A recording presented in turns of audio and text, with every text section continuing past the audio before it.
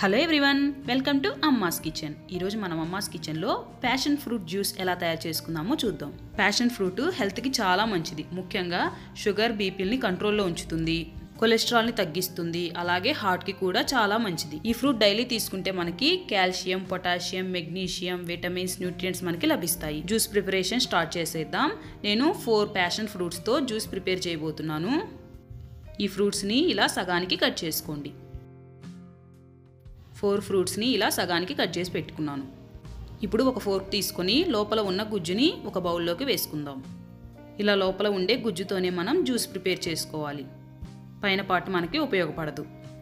ఇలా అన్ని ఫ్రూట్స్లోని గుజ్జుని తీసుకోండి. ఇప్పుడు మీకు చూపిస్తున్న విధంగా ఒక రెండు నిమిషాల పాటు ఫోర్క్తో ఈ గుజ్జుని బీట్ చేసుకోండి. ఇలా బీట్ చేయడం వలన సీడ్స్లో ఉండే పల్ప్ మనకి ఎక్స్ట్రాక్ట్ అవుతుంది. ఇలా రెండు నిమిషాల పాటు మిక్స్ చేసుకున్న తర్వాత దీన్ని పక్కన పెట్టుకొని ఇప్పుడు స్టవ్ ఆన్ చేసుకొని కడాయి పెట్టుకోండి. కడాయిలో ఒక హాఫ్ కప్ వరకు షుగర్ వేసుకోండి. నేను పావు కప్పు షుగరు పావు కప్పు పటిక బెల్లం వేసుకున్నాను. మీరు కావాలి అనుకుంటే మొత్తం షుగరే వేసుకోవచ్చు. హాఫ్ కప్ షుగర్కి హాఫ్ కప్ వాటర్ పోసుకోండి.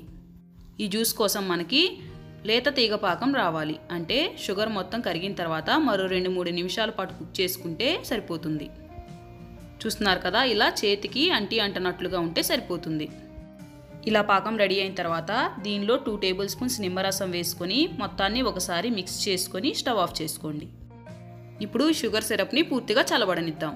పూర్తిగా చల్లబడిన తర్వాత మనం ముందుగా రెడీ చేసి పెట్టుకున్న ప్యాషన్ ఫ్రూట్ గుజ్జుని వేసుకొని మొత్తాన్ని ఒకసారి మిక్స్ చేసుకోండి. షుగర్ సిరప్ వేడిగా ఉన్నప్పుడు వేయకండి పూర్తిగా చల్లబడిన తర్వాతే ఈ పల్ప్ని యాడ్ చేసుకోండి. ఇలా మొత్తం కలిసేట్లుగా ఒక థర్టీ సెకండ్స్ పాటు మిక్స్ చేసుకోండి.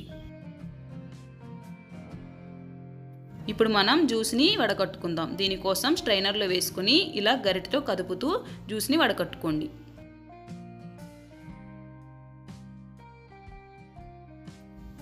ప్యాషన్ ఫ్రూట్ జ్యూస్ రెడీ అయిపోయింది. ఇప్పుడు మనం ఒక గ్లాస్లో కొన్ని ఐస్ క్యూబ్స్ వేసుకొని జ్యూస్ని యాడ్ చేసుకుందాం.